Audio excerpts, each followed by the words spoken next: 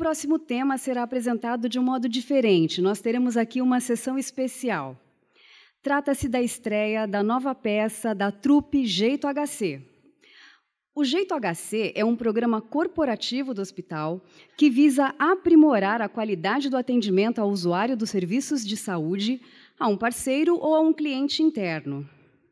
E a trupe é composta por funcionários, atores, voluntários do HC que se reúnem e ensaiam scripts sugeridos pela equipe do programa Jeito HC. Depois de ensaiar, a trupe Jeito HC faz as suas turnês pelas unidades hospitalares, criando um ambiente adequado para discutir medidas que buscam melhorar as relações de trabalho. Então, com vocês, a trupe Jeito HC com a peça O Líder e a sua equipe criando e solucionando conflitos.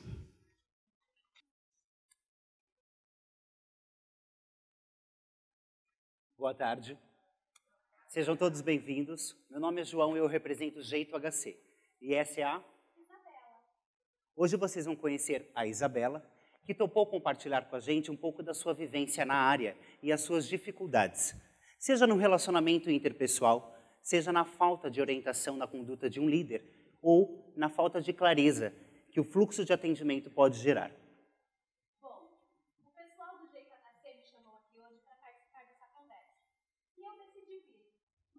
Acredito que eu posso contribuir muito com a minha experiência como funcionária explorada, considerada lerda e sem iniciativa. Mas calma, eu mudei. Hoje eu aprendi, eu sou outra. Eu posso até dizer que hoje eu sou uma colaboradora inteligente e proativa. Então, Isabela, conta para o público quais outros motivos te fez topar esse desafio de vir até o palco. Topei esse desafio também porque nós sempre ouvimos falar sobre palestras para líderes. No caso, os nossos tão amados chefes. É, estas palestras tentam torná-los líderes melhores, mas que, na verdade, nós, os funcionários lerdos, sabemos que para muitos tudo entra por aqui e sai tudo por aqui. Gente, está na hora de começarmos a saber o que é falado para eles só assim nós vamos poder cobrar atitudes mais condizentes. Sim, exatamente. Até mesmo o projeto Jeito HC, que desde o início foi demandado a dar orientações quanto aos líderes. Foi elaborada a cartilha do líder e, desde então, o NGP, junto com os CGPs de cada instituto, tem feito palestras a respeito. Mas mudança que é bom, nós não vemos muito. Eu penso que está na hora de nós começarmos a falar sobre a nossa atitude como colaborador, da nossa, da nossa identidade com o nosso trabalho, do respeito que nós temos com o que fazemos para ganhar a vida. Eu acredito, é importante sim trabalharmos fazendo o que amamos. Mas convenhamos, a maioria de nós não tem o emprego dos sonhos. Então vamos fazer o seguinte: quando vocês estiverem atendendo um paciente, lembre-se daquela conta que você tem para pagar no final do mês. Lembre-se daquela blusa ou daquela calça linda que estão numa boutique e você quer muito comprá-las. Lembre-se também daquele carro e daquela moto que vão te livrar dos ônibus. Ou então daquele show que toda a galera vai, mas você está liso. É, acreditem, essas lembranças realmente vão te dar um choque de realidade. E lembrem-se também que qualquer um pode estar nessa situação um familiar, amigo ou até mesmo você. Portanto, com essas coisas na cabeça, traga um sorriso acolhedor e atenda da melhor maneira possível aquele colega de trabalho ou o próprio paciente que necessita da sua atenção no momento. Lembre-se também que vocês optaram por trabalhar nessa instituição, mesmo ganhando pouco, mesmo com esse salário. Hum. Na verdade, nós estamos aqui porque os nossos líderes muitas vezes não nos dão muita opção, mas nós temos que trabalhar. Precisamos desse trabalho. E é importante trabalharmos feliz. E salário não quer dizer felicidade. Felicidade quer dizer ter satisfação com o que a gente faz para viver. Então hoje eu vou relatar para vocês um dia do meu trabalho. Nesse dia eu acordei e eu consegui mudar. E no decorrer, eu vou dando algumas dicas para vocês.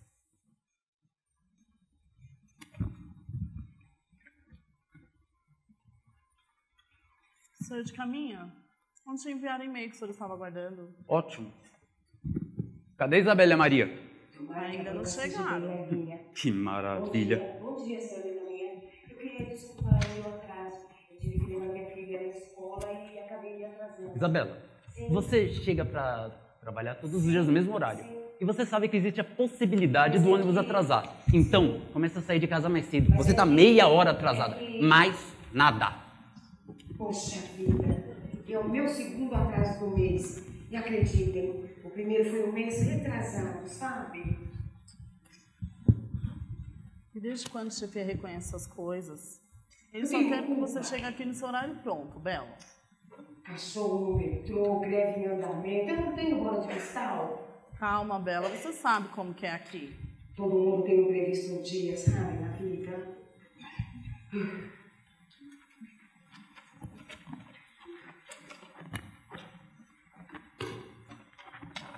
Bom dia, gente. Boa tarde, né?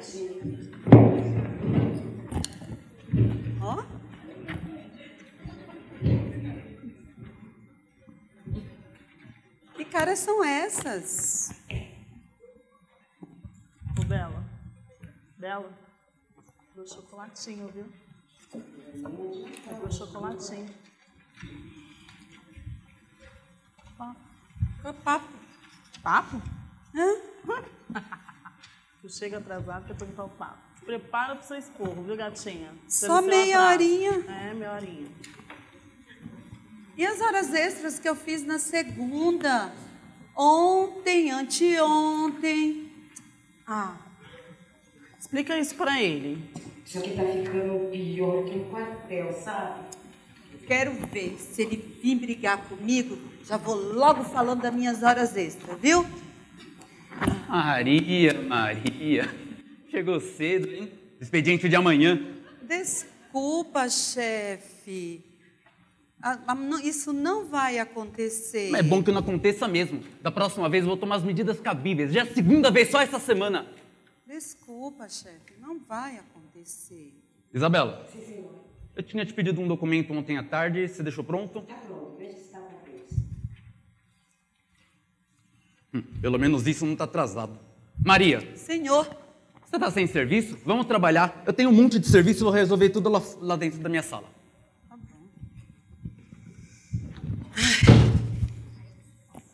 Colaboradores do meu coração, não sejam bobos, não façam como eles, saiam dessa. Por mais que você tenha milhares de horas extras, a tendência da sua chefia é nunca tolerar nenhum atraso. Por quê? Porque primeiro eles querem que vocês cumpram as regras e depois eles sempre têm razão. Assim da maneira que nós também achamos que sempre temos razão. E isso é em qualquer lugar. Chefias são todos iguais, só muda a organização. Então façam o seguinte quando quiserem resolver algo durante o expediente. Converse com ele antecipadamente. Observe o melhor momento para abordá-lo. Ou seja, aquele momento que ele está sorridente ou feliz por ter terminado algum projeto importante. Se for o caso de acontecer um imprevisto, que é claro que acontece com todos, ligue para o setor e explique por que vai se atrasar. Uma coisa eu garanto para vocês: com conversa, tudo vai se resolver. E aí o vínculo com os nossos superiores vai ser excelente. Em outras palavras, quanto mais nós ficamos atentos a todas as normas e padrões, mais ele vai se sentir constrangido em nos passar um sabão. Mas vamos continuar, porque o nosso dia foi longo. menina, se ele, se ele continuar assim, vou entrar em greve. Baixa a opressão. Acorda, Maria. Você entra em greve e o chefe te frita. Ou ele te coloca à disposição. Sem vaga. Num minuto tem outro senta no seu lugar. Quero ver onde vai arrumar outro setor. Acorda você, Bebel. Se ele tivesse que fazer isso, ó, já tinha feito há muito tempo.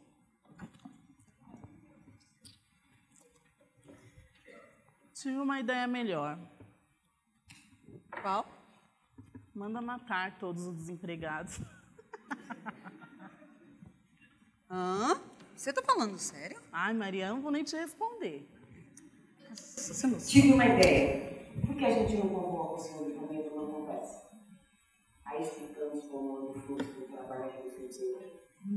E colocamos os pontos positivos e negativos.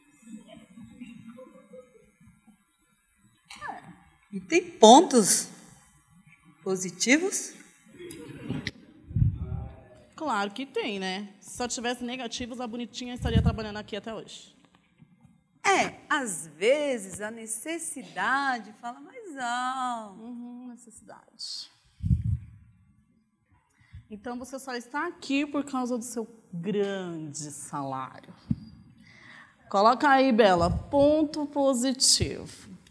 Maria, a Maria só está aqui porque ela ganha bem, viu? Ótimo. Ei, eu não disse isso. Eu não estou aqui só por causa do dinheiro. Eu estou aqui também pela estabilidade que dá. Meninas, chefias ou líderes são todos iguais, só muda de empresa. Mas sim, vamos relacionar nossos pontos? Vamos começar pelos positivos. Então tá. É. Vamos pelo negativo. A Maria é uma colaboradora que se, des- se desespera muito rápido. O emprego aqui não é perfeito. Raríssimas pessoas são as pessoas que trabalham com o emprego dos sonhos, mas nem por isso estão se revoltando. Greve? Não. O melhor mesmo é procurar fazer algo para extravasar esse estresse. Caia na balada no final de semana, saia com namorado ou namorada. Não tem namorado ou namorada? Não tem problema. Faça algo que lhe dê prazer. Joga uma pelada, faça algo, mas que lhe dê prazer para tirar esse estresse. Quem dera se todos só trabalhassem com o que gostam. Mas para chegar isso, tem que focar, superar medos e não ficar só no desejo, ok? E uma boa conversa ajuda, sim, a resolver muitos problemas de uma empresa. Mas não chegue acabando com o setor e muito menos com o seu chefe. Você precisa ser inteligente, saber abordá-lo na hora certa. Só que naquele momento, eu, Isabela, não fui tão inteligente. E eu só sabia pensar nos pontos negativos. Eu começo. Primeiro, ser menos ignorante e irônico. E cuidado quando ele começa a gritar com a gente. Ele precisa saber resolver as coisas na conversa. E o pior é quando ele começa com as indiretas. Ai, também odeio isso. Tem toda a razão. Lembrei de uma muito legal. Coloca aí. Compreender os nossos atrasos? Ai, meu Deus do céu. Maria, de novo essa história. É compreensível os atrasos da Bela, mas os teus, todos os dias que é uma exceção, né? Lembrei de outra. Ter uma secretária a menos puxar saco. Eu não sou puxa-saco. Eu sou realista. Olha, nesse ponto, eu tenho que concordar com ela, Maria. Como óbvio, né? Isso é um complô contra a minha pessoa? Vocês aqui, por acaso, são é, trabalham para o RH deste hospital? Me respondam isso. Não, mas temos que ter algum- atentos quando for na hora de reivindicar. Agora, Mas, gente, eu sou a funcionária mais, mais velha deste hospital. Eu já doei todo o meu sangue. Eu mereço regalias. Eu não sabia que você era doadora da Hemocentro. Engraçadinha. E ainda tem as minhas horas extras que ele nem me pagou no final do mês. Ah, assim que é que a gente trabalha. verdade, porque eu recebo as minhas em folgas. Tô vendo, viu, gente? É um complô contra a minha pessoa. Mais um Eu te ponto. falei, querem folgas quando autorizadas, é claro. Pior ainda. Mais um ponto. Ser menos desconfiado. Ele pede as coisas dele, joga aí em qualquer lugar. Nem se liga que deixou, esqueceu. Não, as bonitinhas que tem que pagar, né? Já acha que fomos nós que perdemos as coisas deles. Tem que ser menos desconfiado, só acho. Isso, e é nesse momento que ele joga as indiretas que eu odeio. Ah, lembrei de outra muito importante. Colocar a internet no meu computador. Eu odeio ficar pedindo para vocês para passar os meus e-mails de trabalho. Isso é um absurdo. Realmente, eu também odeio ter que emprestar o meu computador para bonitinha. Mas sabe por quê? Fico olhando na frente lá do chefinho Facebook. Vê se pode. Pelo amor de Deus, né, Maria? Com certeza, né? Só, só observe você, viu? Ai, mas eu lembrei de outra coisa muito importante. Quando ele entrar no setor, fazer barulho, muito barulho. Entra como uma cobra. Não dá nem para mim ouvi-lo. A Maria é assim mesmo. Ela não tem jeito. Mas numa empresa, nós precisamos saber o nosso lugar. Há caciques e índios. E é claro, existem chefes que têm a postura de um colaborador, de um bom líder, mas mesmo eles não toleram nenhum tipo de abuso. Então, ahn,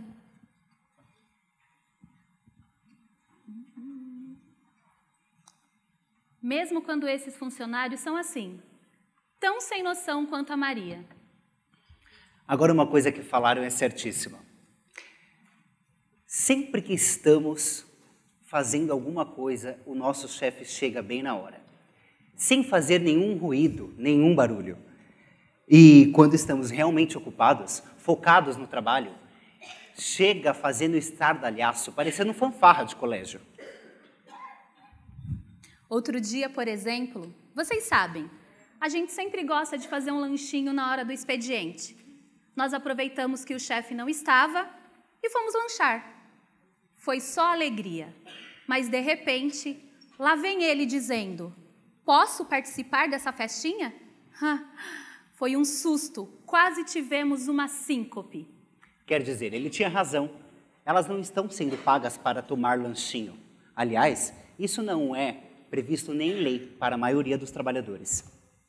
Sabemos que todos merecem um intervalo para dar uma desestressada, mas converse isso para que seja de cinco minutos, coisa que não vai atrapalhar o fluxo de trabalho do setor. E, é claro, sem abusar demais. Ou seja, com bom senso e conversa, conseguimos um bom acordo. Pessoal, e nas vezes que nós resolvemos os pepinos deles inacreditáveis? Não sabe dar um obrigado, um obrigadinho. Acha que é a nossa obrigação, pronto e acabou. E na hora que fazemos alguma coisa de errado, pronto, já vem com sete pedras na mão, nos chamando de incompetente para baixo. Oh! Verdade, Bela. Com certeza. Daqui a pouco ele me, me chama, ele me fará ter tanta certeza de que vou colocar no meu currículo incompetente, nível 10. Vocês ainda ri, né? Ri da desgraça alheia. Mas sabe por que Baltimore ele faz isso? Porque sabe que nós vamos lá ficar igual louca, desesperada, resolvendo. E ainda por cima, com o perigo de dar algo errado. Oh, que sempre de algo em cima da hora, estamos fazendo outro trabalho que também é importante. Verdade. E acaba atrapalhando todo o fluxo. E mais uma vez podemos cometer erros e resultarão em incompetência. Isso é uma injustiça. Quantas vezes nos esforçamos? Quantas vezes damos mais importância ao nosso trabalho que à nossa própria família? O que ganhamos? Ingratidão. Ha, Ingratidão mesmo é o nosso salário. Nem lembro quando foi a última vez que tivemos aumento, ó. Pois é. Esse é o problema do setor público. em pensar que antes isso era um salário digno. Ultimamente, só temos recebido é felicitações de parabéns. Acho que não temos aumento desde o Mário Covas. Ou será Montoro? Sei, até esqueci. E não nos podemos esquecer dos pequenos. Gente, Cinco anos. só 5% no salário base. Só. Tudo aumenta todo dia. Por aí vai. Verdade. Agora me revoltei mesmo. Vamos entrar em greve. Companheiros e companheiras. Opa, essa frase já é de alguém. Meus amigos guerreiros, eu sei o que é isso. Hoje mesmo, muitos já resolveram vários abacaxis em seu setor e não foram reconhecidos por isso. Aliás, eles já se desiludiram quanto a isso há muito tempo. Mas na mente de toda chefia, tudo que a gente faz não é mais do que a nossa obrigação. E não dizer obrigado acaba se tornando normal. Mas isso não pode acontecer. Nós somos trabalhadores expostos a erros e acertos, como qualquer pessoa. Por isso, coloquem-se com muita calma nessa hora. Sejam inteligentes, porque, infelizmente, ainda assim, o nosso pavio tem que ser longo. Muito longo. Então a dica é essa: converse com a sua chefia como duas pessoas bem civilizadas. Afinal, ele tem que saber que, apesar de ele estar numa superior, desculpa, numa posição superior à sua, ele tem que te respeitar e você também. Como diz o ditado, respeito é bom e todos gostam. E lideranças, lembrem-se, quem você é fala tão alto que é desnecessário alterar o seu tom. Já vai começar com essa história de greve de novo, Maria? Pode parar com isso. Somos um hospital. A gente não tem nada a ver com isso. Mas é o único jeito. Eu posso participar da reuniãozinha? Vocês não vão me responder? O senhor não deveria estar resolvendo os seus problemas? E vocês não deveriam estar trabalhando?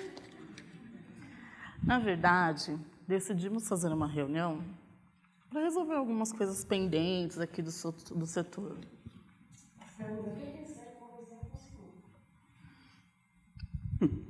Conversar. Vou fingir que eu acredito nessa história. Mas agora eu tô com pressa, eu tenho que levar isso aqui no protocolo e fica faltando uma folha. Eu quero saber onde que tá essa folha.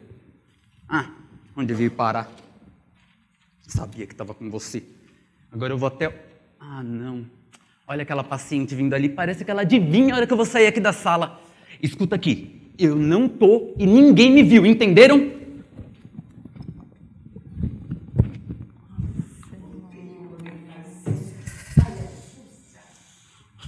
Bom dia. Caminho se encontra? Não, não, é só com ele. É, só com ele. Eu tenho a impressão de ter visto ele por aqui. Eu acho que foi só impressão. Acho que a senhora viu a Maria. É, Ah, é. Pode ser, né? é, todo mundo pergunta se ela não é filha do Dr. Caminha. Não, Maria. Nossa, Ah, o entendi. tempo todo. É, é que eu vim retirar uns documentos. Ele não deixou aqui com uma de vocês? Não. A senhora só pode tratar com ele? É, então, porque eu preciso pegar o documento com ele. Ele vai demorar? Olha, infelizmente, ele não deixou nenhum documento com uma da gente aqui, né? Não deixou não, né? Não. Assim, sabe, né? Reuniões, reuniões. Deve ter esquecido. É, tá. Eu vou. Eu vou esperar ele aqui então, tá? Não! Quer dizer, poder, a senhora poderia. É que eu ouvi ele dizendo que não voltaria mais da reunião hoje. Não acredito. Ai, não acredito. Eu precisava muito pegar esse documento. Já é a segunda vez que eu venho aqui. Bom, de qualquer forma, é, ele tem meu contato? Pede para ele me retornar, por favor. Obrigada. Boa tarde. Maria? Ainda bem que tu tá sabendo mentir, né, gata? É. E vocês? Criativa demais. Fala sério. Olha como eu me pareço com ele. É. Vou processar vocês duas, viu? Por calúnia. Funcionários, isso acontece com vocês? Nós, inclusive, temos que exercitar a nossa veia artística, como atrizes e atores, na hora de ficar driblando esses pacientes. Pois é, enquanto isso fizer parte do nosso dia a dia, não temos muito o que reclamar do Senado, correto? Líderes e colaboradores, vamos repensar e fazer o correto, ok?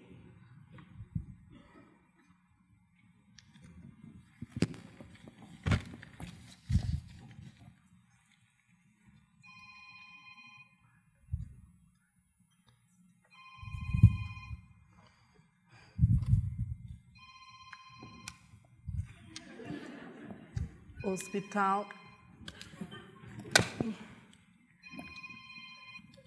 Ferrou. Hospital pega, mas não aperta. Sofia, bom dia. Bom dia. Gostaria de agendar uma ultrassom com contraste? Ultrassom com contraste? Isso. Hum, a próxima vaga, infelizmente, só para o ano que vem. Ano que vem? Nossa. Então, é que meu médico ele solicitou para este mês ainda, é com urgência. Hum, senhora, é, com quem eu falo? Com a senhora Sebastiana, da Companhia Preferencial. Senhora Sebastiana, como vai? Olha, infelizmente não posso lhe agendar para este mês. Só para daqui uns 13 meses. Nossa, nem sei como proceder. É, mas se houver desistência, eu entro em contato com a senhora, tudo bem? Ok, verei outras possibilidades. Bom, obrigada. Tá, Uhum. Paciente SUS. Isso. Não mesmo. O engraçado, né? Que esses chorões nem estão precisando. Já os coitadinhos que precisam, têm nem coragem de pedir para trocar a consulta para o dia que eles precisam, Verdade. mas sempre são atendidos chorões. Caso sério. É muito sério. E sempre tem prioridade. Protocolo, desculpa. então. Isso. Não, é claro. isso. Não, dona Sebastiana, não. Me desculpa. Com certeza isso não vai repetir. Mil desculpas. Muito obrigado por compreender. Sofia! Senhor? Como que você me nega o encaixe para dona Sebastiana? É que ela queria um encaixe para esse tempo aí. O senhor já me cansou de dizer que não tem como agendar Só que ela é Sebastiana Martins. Ela é dona de uma das maiores redes de loja dessa cidade. Uma pessoa como essa, como ela, tem muito dinheiro. Sorte que, eu- que ela me ligou eu consegui contornar a situação. Ela tem dinheiro, ela tem convênio. Uma pessoa como ela paga à vista. Me desculpe, não vai se repetir. É que nós só agendamos SUS aqui, doutor. Nós só agendamos SUS, é claro. Eu estou rodeado mesmo de pessoa incompetente. Nós só agendamos SUS. Mas você tem seu telefone, você tem uma agenda de telefone e você pode resolver o problema com um telefonema. Logo a senhora, dona Sofia, que vive fazendo discurso sobre a sustentabilidade do hospital. Ó, falando em telefonema, eu vou fazer uma ligação muito importante agora e não quero ninguém me incomodando.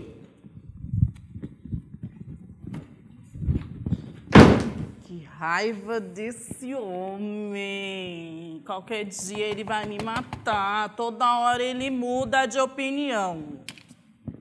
É, Meninas, meninas, meninas. O que é, Deixa Maria? eu contar uma fofoca para vocês. Vamos lá. Eu acho que a senhora de Caminhas está deixando o seu Caminhas na mão. Ah, pode ser. Olha o estresse do cara nesse dia. Ai, também acho. Que absurdo. Plena sexta-feira. Realmente a Sofia tem toda a razão.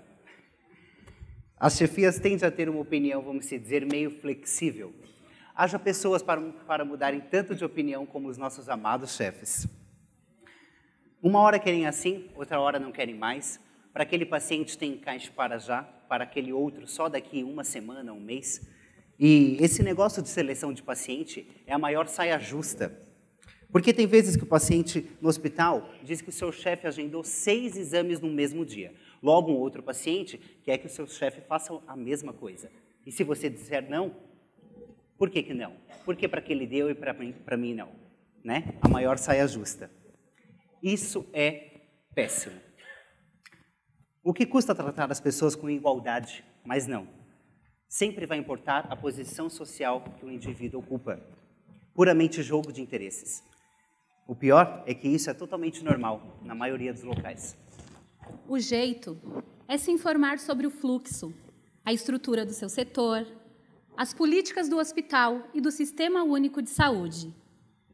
E qualquer dúvida, sempre consultar o seu chefe antes, porque qualquer coisa que der errado, a culpa vai ser sempre de vocês. E, sinceramente, é preferível um bom fluxo, com critérios bem definidos e claros, do que ter que ter, do que ter que lidar com essas situações flutuantes.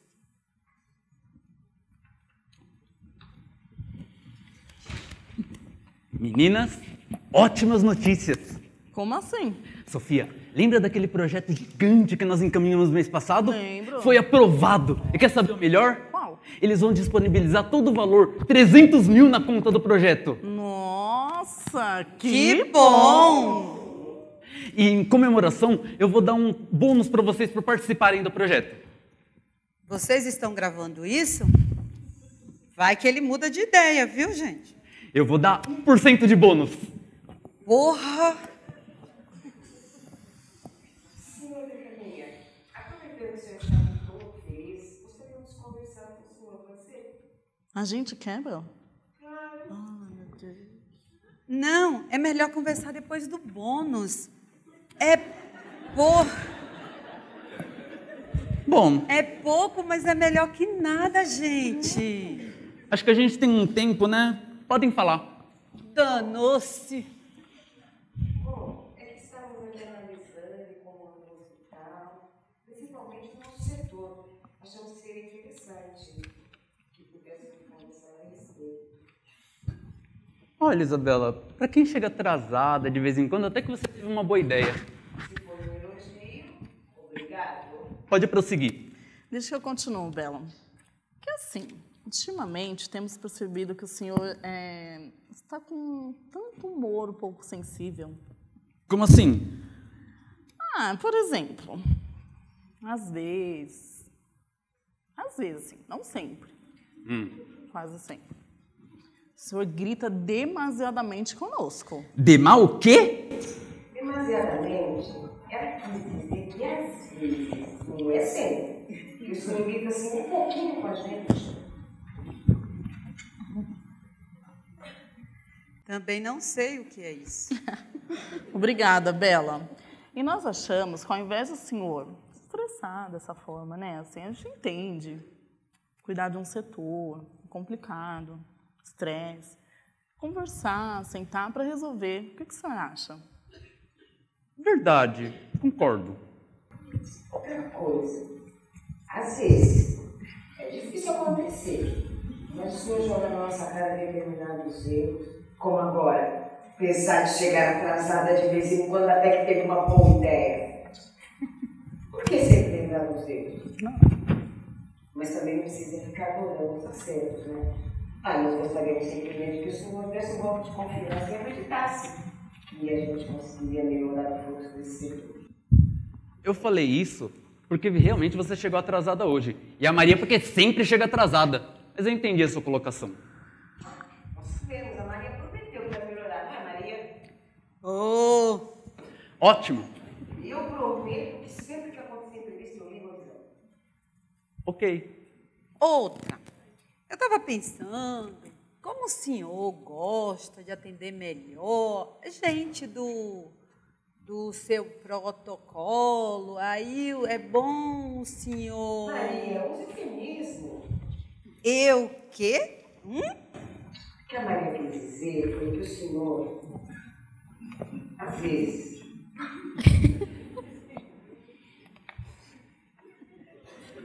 Respira, respira. realiza melhores é, condições para os seus pacientes, para os seus projetos. Então, pensando, o senhor poderia me dizer quem são esses pacientes, assim poderíamos gerenciar melhor o fluxo. E também eles não abandonariam o tratamento, concorda? Ótima ideia! Então, eu vou começar a fazer a lista e hoje mesmo eu mando para vocês. Não, calma. Ca- Calma. Devagar. Senhor pede assim, né, as coisas tudo em cima da hora. Pode sair alguma coisa errada, então tem que ser com calma, entendeu? Devagar. É, é como diz aquele ditado, né? O apressado come cru. É, até que vocês têm razão. Mas vocês precisam estar sempre atentas. Bom, acho que nós já conversamos bastante por hoje, né? Então vamos voltar a trabalhar? 300 mil! Uhul! Agora esse projeto vai pra frente! Até que foi uma boa conversa. Espero que colabore de alguma forma. Mas o que colabora mesmo é a Maria ficar calada nessas horas, sabe? Com certeza, viu, Maria? Ô, Bela, o que é eufemismo? Olha, eu vou te dar um exemplo. Eu falo assim, filhota, Hã? às vezes parece que você é desprovida de inteligência. Ô, gente, você tá me chamando de burra de um jeito bonitinho, é? Entendeu, Bela? Entendeu, entendeu. Como eu já havia dito, uma boa conversa sempre faz bem, mas com uma boa pitada de eufemismo. Afinal, você precisa medir as suas palavras quando for falar com o seu líder, principalmente quando for sobre ele mesmo. E dar ideias e crescimento sobre o seu setor é sim um golpe de mestre, mas nem sempre, quando ele estiver falando com outros líderes, ele vai dizer que essa ideia foi sua, mas pelo menos ele sabe de onde veio. E não se iludam. Apesar dessas conversas serem boas, elas podem não ter efeito duradouro. Se você tiver um pouco de sorte, seu líder irá ver que trabalhar com colaboradores satisfeitos e felizes, a produção vai ser satisfatória quase sempre. Mas se ele for do tipo tradicional de gerir quem manda sou eu, é muito interessante convocar essas conversas periodicamente. Porque se toda semana você ressaltar as mesmas reclamações, não vai existir eufemismo que aguente. E logo seu líder vai lhe taxar de reclamão e não vai tardar para te tirar do- da equipe dele. Como vocês viram, o que nós, os funcionários lerdos, podemos fazer para melhorar o nosso trabalho é. Realizar alguma atividade pós-expediente que extravase o estresse, como música, leitura, dança, arte, alguma coisa que lhe dê prazer. Aprender a lidar com as situações de conflito, percebendo o melhor momento, a melhor forma de se colocar, de colocar as nossas questões, através dos nossos olhares, dinâmicas, rodas de conversa e improvisando alternativas para realizar as nossas atividades do dia a dia. E lembrem-se que ter pavio muito longo é fundamental, pois devemos ter pé quente e cabeça fria, e não o contrário, ok? Espero que essas dicas tenham contribuído, tenham sido válidas para que vocês consigam transformar o seu dia a dia em algo mais leve e prazeroso. Seja gentil. A gentileza nos leva a resultados produtivos e criativos. E ainda desvenda a charada da convivência, o único motivo verdadeiramente que nos deixa feliz e realizados. Muito obrigada pela atenção.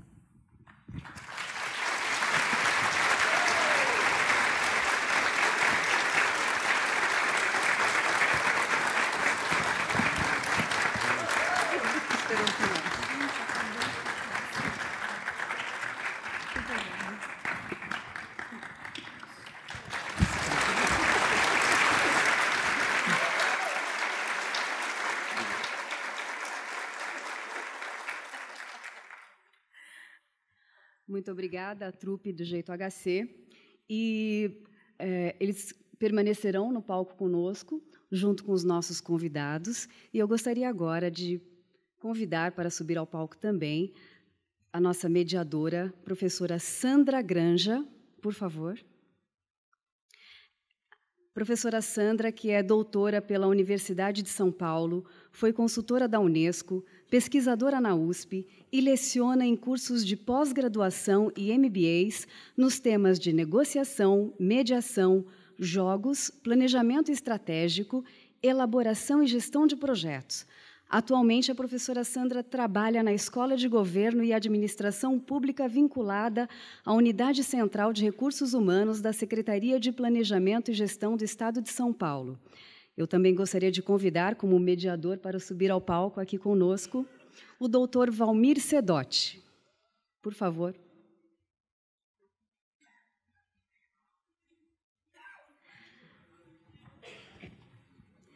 O Dr. Valmir é psicanalista clínico e consultor de desenvolvimento humano do Instituto Central do HC e ICESP da Faculdade de Medicina da USP.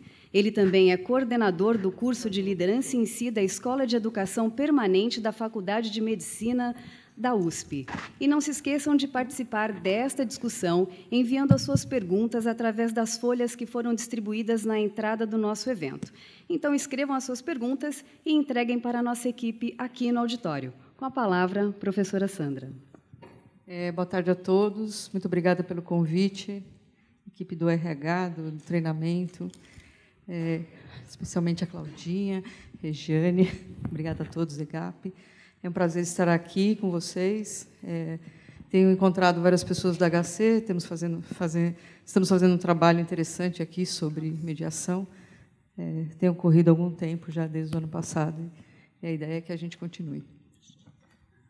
Boa tarde a todos. Eu gostaria de também agradecer o convite ao NGP, na pessoa da Cláudia, Lira e toda a equipe de organização do evento parabenizar os atores que nos deram a oportunidade de fazer algo muito importante quando a gente pensa em conflito, que é a sublimação do nosso inconsciente. Aquilo que nós carregamos dentro de nós, quando se exterioriza, a gente consegue iluminar e certamente transformar também. Então, obrigado por essa oportunidade. É, ainda não, é, as perguntas ainda vão chegar, né? Acho que a gente podia comentar um pouquinho da peça. Os atores estavam fantásticos, parabéns à trupe, né? Temos assistido aos ensaios aí deles e conversado um pouquinho, né? A peça trouxe várias situações, né, de conflito que é, pode ser que sejam cotidianas ou enfim é, apareçam aqui, né, no complexo HC e várias é, questões foram pontuadas, imagino, como muito interessantes, né, que dão bons encaminhamentos professor e eu estávamos comentando, né, ali na, no nosso nosso reduto ali, que é, a questão do diálogo ela aparece sempre como uma solução importante, né, e necessária para toda organização. É, isso foi bem, acho que bem tratado na na peça, né, quer dizer, sempre procurar o diálogo, né, e os vários encaminhamentos possíveis. Temos, claro, a mediação como uma das possibilidades de resolução de conflitos, tá certo? Ela é uma das possibilidades, e dentro do, da mediação comporta-se o diálogo. Né? E o diálogo aqui apareceu é, em várias situações, quer dizer, o jeito HC né, sempre promovendo é, essas dicas né, para que a gente consiga é, trabalhar com a questão do diálogo.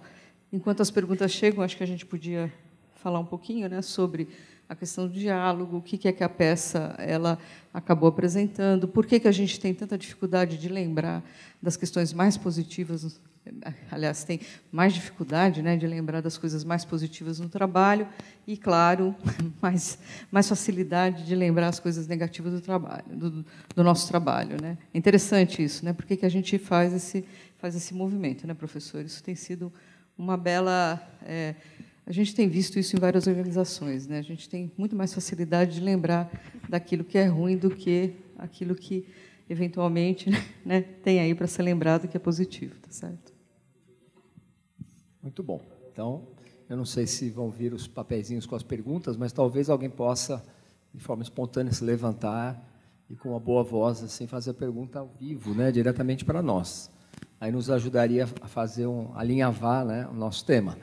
Mas voltando à questão do diálogo, uma das coisas que tem como base a relação conflituosa é que todos nós temos um desejo é, infantil, num certo sentido, de sermos vistos e reconhecidos pelo outro. Então, o diálogo significa dia, quer dizer dois em grego, logos saberes. Quando trocamos dois saberes, nós conseguimos enxergar que existe um outro que não é a minha extensão. Se existe um outro diferente de mim, ouvi-lo significa aprender com ele. E a nossa sociedade, por ter uma base muito narcísica, no sentido de a gente olhar só para a gente mesmo, nós não temos escuta para o outro. Então nós nos fechamos à oportunidade de crescer e aprender. É o que a gente viu aqui na própria peça, né? Porque tem uma máxima muito interessante, muito antiga, que diz que nós vemos fora o que nós temos dentro de nós. Então, de alguma maneira, o que a gente viu como um microcosmo da instituição, que não só a instituição no complexo HC, obviamente, nós estamos falando de algo bem mais geral, né, Sandra? É, é exatamente esse ponto. Eu vejo fora o que eu tenho dentro de mim. Então, quando eu critico alguém, eu tenho esse referencial em mim. Então, se eu tivesse a consciência de que quando eu falo do outro, eu estou falando de mim, talvez o conflito diminuiria. Porque aí eu deixo de julgar o outro e passo a olhar para mim. E olhando para mim, eu posso expandir a minha consciência e crescer, respondendo às demandas que aparecem para mim.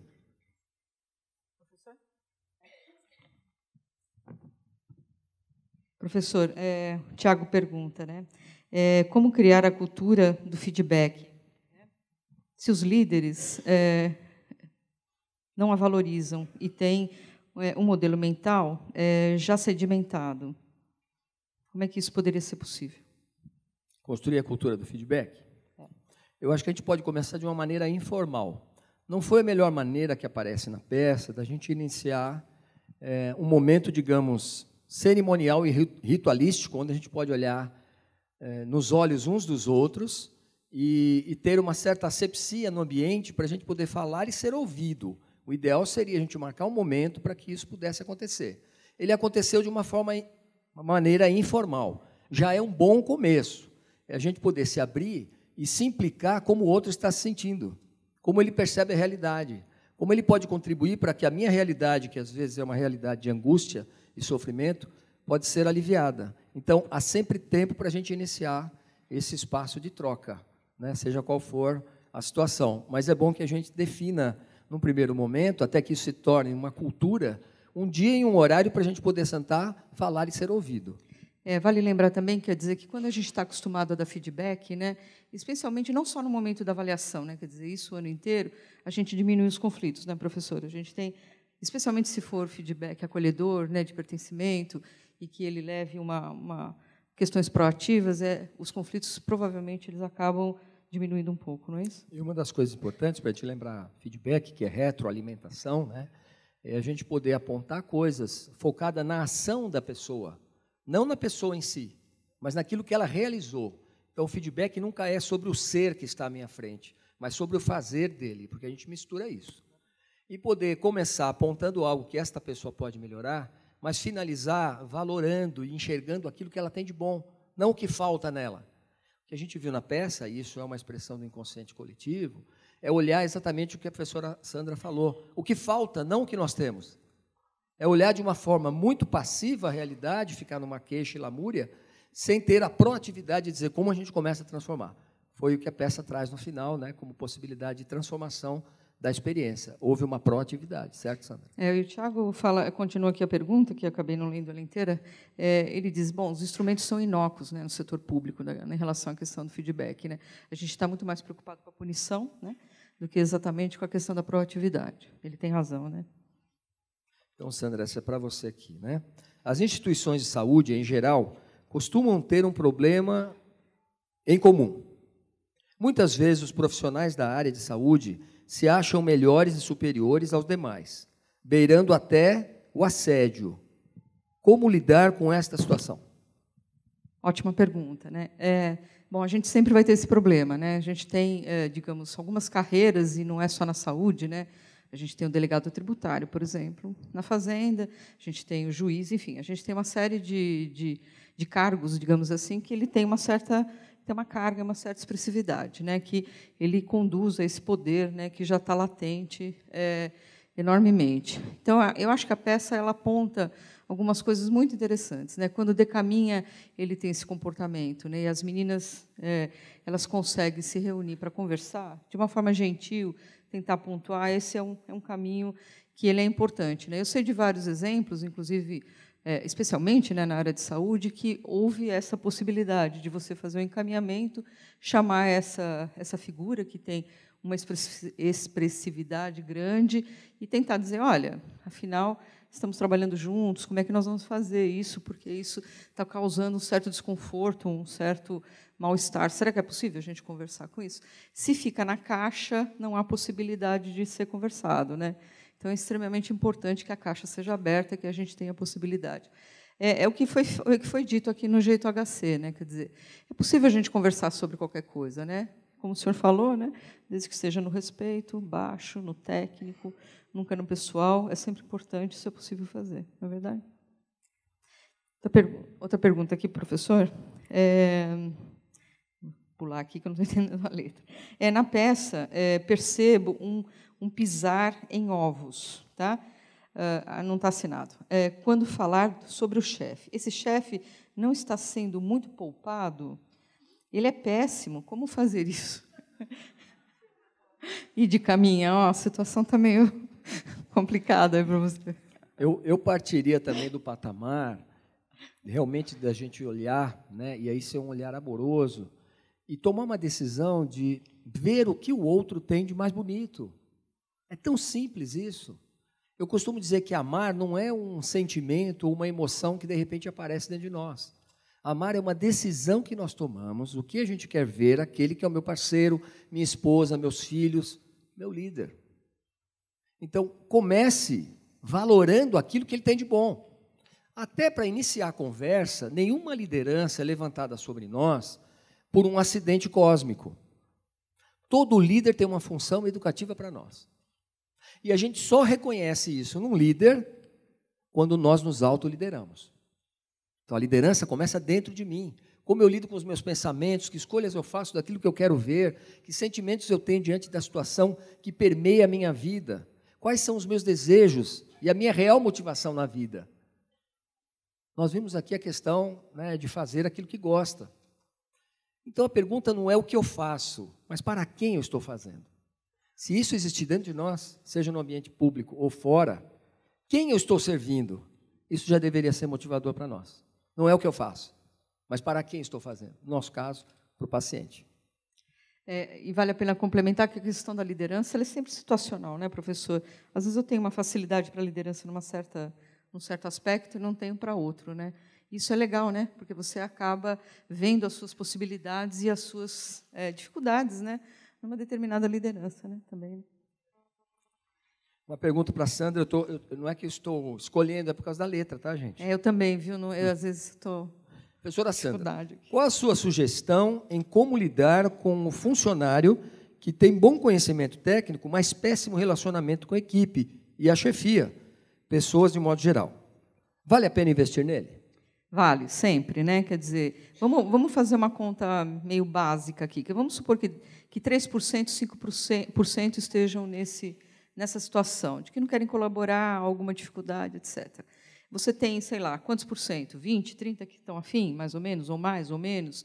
Tem um, tem um grupo nesse, nesse meio, entre 10 e os 30, que às vezes podem é, ficar do lado de que não querem ou podem ser estimulados. A gente tem que ter estratégias diferentes para cada um desses grupos. Eu não posso usar a mesma estratégia para quem não quer, para quem está muito afim. Eu acabo é, dificultando a gestão de pessoas. Então, eu tenho que ter uma estratégia específica para este grupo que não quer.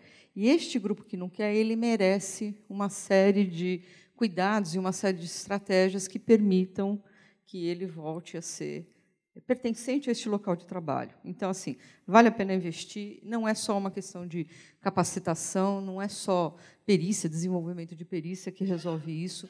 É uma, é, tem a ver com estratégias organizacionais, institucionais, projeto da, eh, da instituição tem uma série de coisas relacionadas. E, claro, gestão de pessoas. É, mas não é gestão de pessoas só do RH, né, professor? É gestão dos líderes, né? Quer dizer, a peça mostrou bem isso. Isso é uma responsabilização de, de todos nós, não é verdade? Queria até acrescentar isso aí, Sandra. Na verdade, é, gestão significa dar vida, gerar. Né? Uma gestante está gerando vida. Então, o gestor tem que ser um gerador de vida e não de morte. Agora, esse gestor vai ter pessoas diferentes na sua equipe. Estas pessoas têm, de uma forma geral, vou falar agora um pouquinho da, de uma tradição que é a psicologia analítica, quatro arquétipos. Você tem o batalhador, que é o guerreiro, a pessoa realista, que tem como movimento no mundo fazer coisas. Ele é imediatista, muito positivo de uma equipe. Você tem o estrategista, que é o pensador, aquele mais intelectual. Não vai ser movido por fazer, fazer vai, vai ser movido por pensar. Então você tem que descobrir quem é o batalhador na equipe, quem é o estrategista. O terceiro é o apoiador, a pessoa mais emocional, afetiva, apoia, cuida, conciliador de conflitos, se importa com o outro. Você tem que descobrir na sua equipe quem é afetivo, amoroso, que se importa nas relações. Então você vai trabalhar procurando conhecer esses arquétipos. E o quarto seria o visionário, a pessoa sonhadora que está olhando lá na frente, que quer ver um horizonte mais filosófico, é mais entregue a servir e apoiar também. Então, Sandra, eu acho que mais do que o treinamento técnico, o líder precisa conhecer o perfil das pessoas que estão com ele. As linguagens são diferentes para um estrategista, para um apoiador, para um batalhador e para um visionário. Por isso, o líder tem que estar em relação com o outro, relação próxima. Não é estar perto fisicamente, mas próximo, junto com o outro.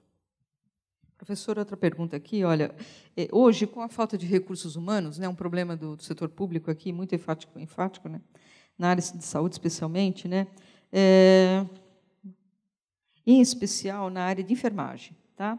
A pergunta: como a chefia imediata pode trabalhar para preparar esta sobrecarga de trabalho, né, junto com aquela equipe? Né? Como é que a gente poderia estar trabalhando com isso?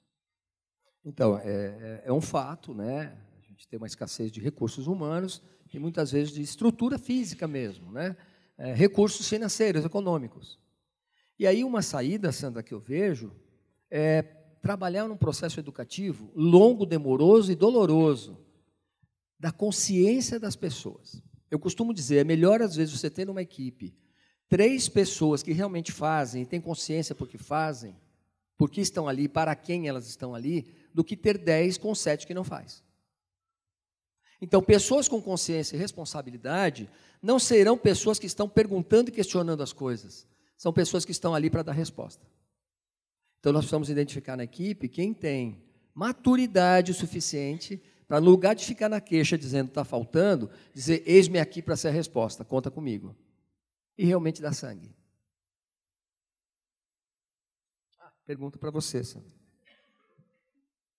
Há um ditado que diz: quer conhecer verdadeiramente uma pessoa, dê poder a ela.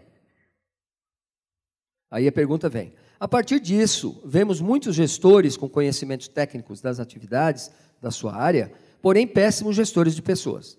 Isso leva o servidor a ter um comportamento hostil com o cliente externo e com seus colegas. O que a, o CRH, pode, posso pronunciar assim? Poderia fazer quanto à formação de futuros gestores mais humanizados e conscientes. É, esse é um grande desafio. A gente tem feito essa discussão na escola de governo lá, que é pendurada na, que é vinculada né, ao CRH. Essa é uma grande preocupação, porque a, a, gente tem várias dimensões da questão da perícia, da capacitação e da formação. Né? É, tem níveis que são níveis é, táticos, gerenciais, que é uma coisa de gestão, que você pode aplicar a qualquer hora. Isso né? Isso que você está, quem escreveu a pergunta está dizendo, ele tem, que, ele tem que ser trabalhado também.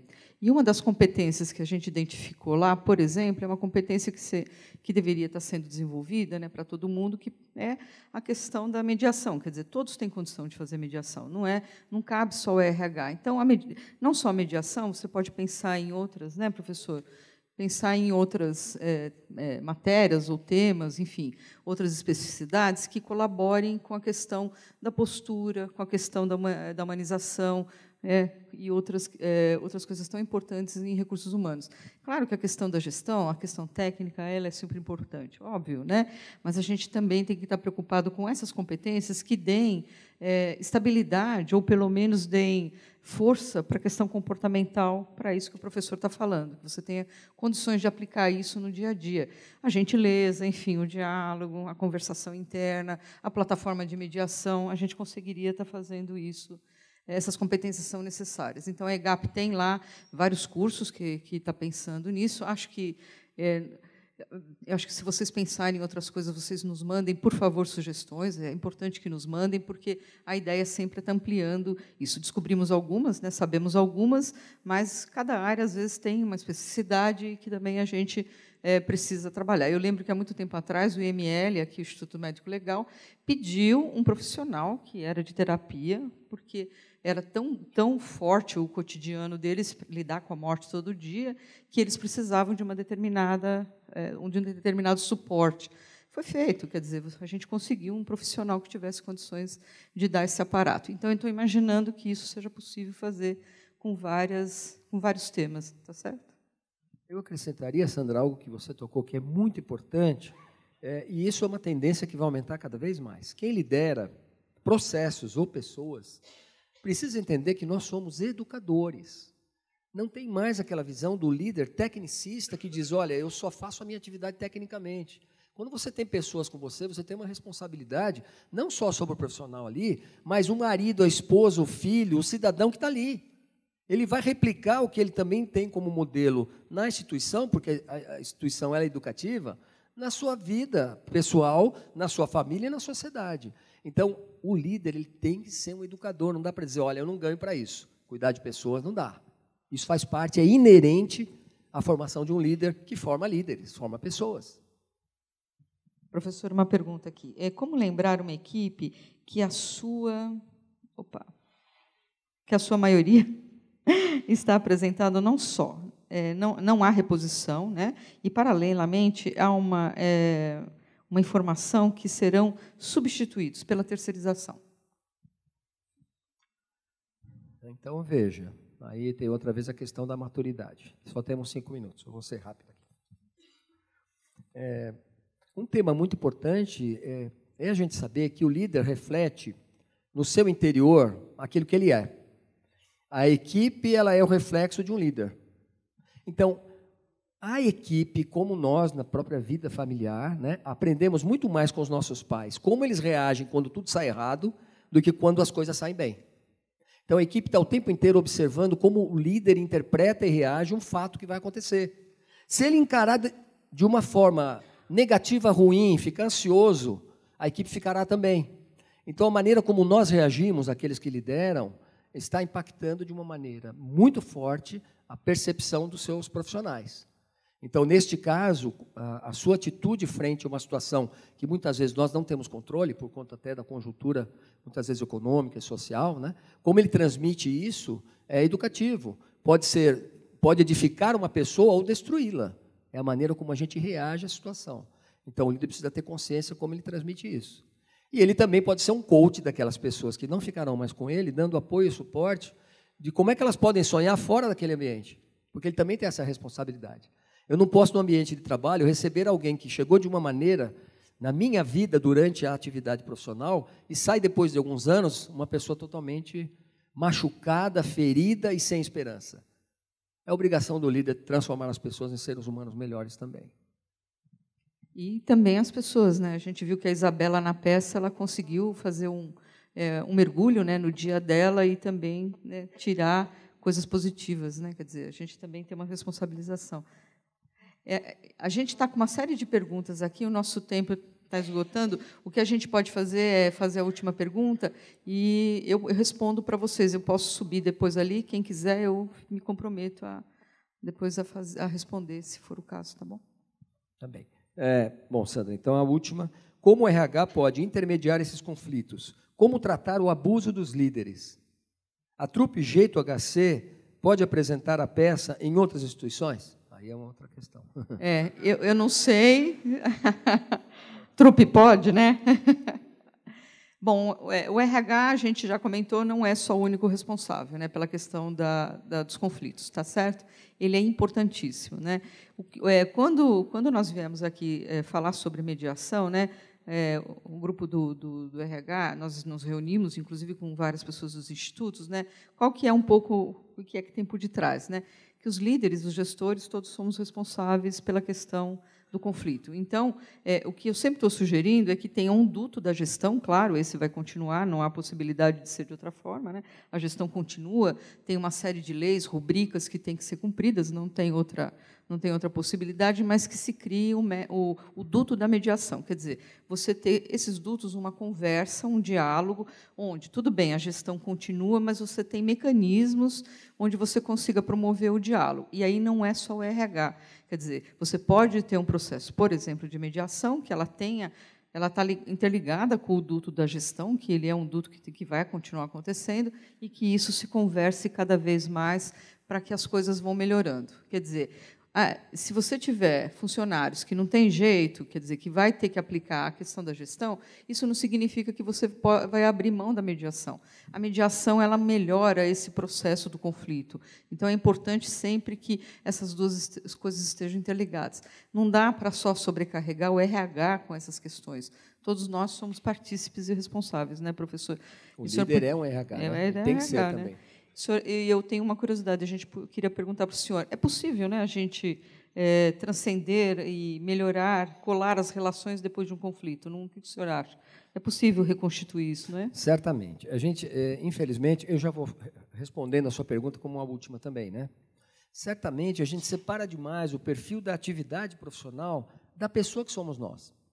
Atrás de um crachá com um título tem um ser humano, tem uma alma que tem sonhos, tem dor, tem vida, e tem também uma coisa chamada pulsão de morte, que é a gente se sabotar. Isso faz parte. Né? Também aparece nas nossas relações. Então, eu costumo dizer uma coisa aí para você que é pessoa, que está me ouvindo, que também é profissional, mas é um ser humano. Eu digo o seguinte, que não há vida sem relacionamento. Só há vida nas relações, Sandra. Até porque, para a gente estar tá aqui com vida agora, dois diferentes se encontraram um dia. Se aproximaram e tiveram um momento de intimidade. Responda para você, não precisa falar alto. Quais foram as duas pessoas diferentes que um dia se encontraram e, de alguma maneira, na intimidade, foram criando um embrião para você estar aqui hoje como adulto? Pai e mãe. Então vamos pensar na vida. Para as relações gerarem vida, tem que existir uma coisa importante, Sandra. Dentro da instituição também, claro. O perdão. O perdão faz a vida começar outra vez. Eu atendo casais no consultório, o que a gente vê é isso, né? A vida relacional está morrendo. Porque houve um conflito e aquilo não foi tratado, não houve diálogo, não houve o olhar um para o outro e não houve essa capacidade de fazer tudo começar outra vez. Então, o perdão faz a vida começar de novo. Então, eu acredito que no ambiente institucional tem que haver essa qualidade, esse valor, que é perdoar as pessoas, porque ninguém está pronto. Perfeito. Obrigado.